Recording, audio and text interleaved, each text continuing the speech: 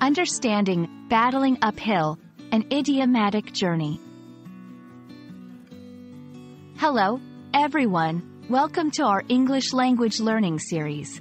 Today, we're going to explore a very interesting English phrase, battling uphill.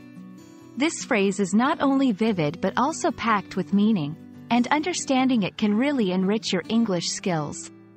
So, let's dive in and discover what battling uphill truly means. Battling uphill is an idiomatic expression used to describe a situation that is extremely challenging or involves a lot of effort, similar to climbing a steep hill. This phrase often implies that the effort required is more than usual, and the chances of success are not very high. It's a metaphor that paints a picture of someone struggling against a difficult situation.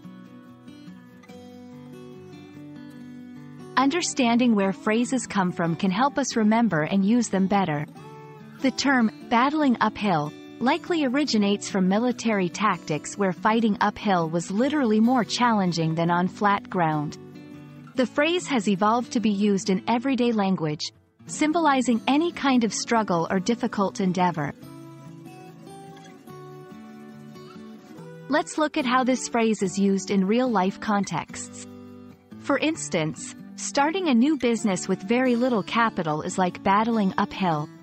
As a beginner, learning advanced calculus feels like battling uphill. In these examples, battling uphill is used to describe situations requiring extraordinary effort and facing significant challenges. It's important to use idiomatic expressions correctly to sound natural. Battling uphill is best used in contexts where there's a notable challenge or difficulty.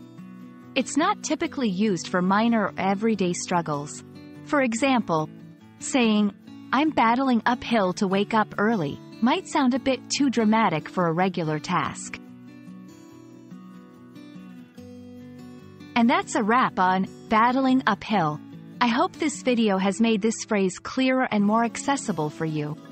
Remember, learning idioms is not just about adding words to your vocabulary, it's about understanding the culture and the nuances of the language. Keep practicing, and you'll find yourself battling uphill less often in your journey of English learning. See you in the next video.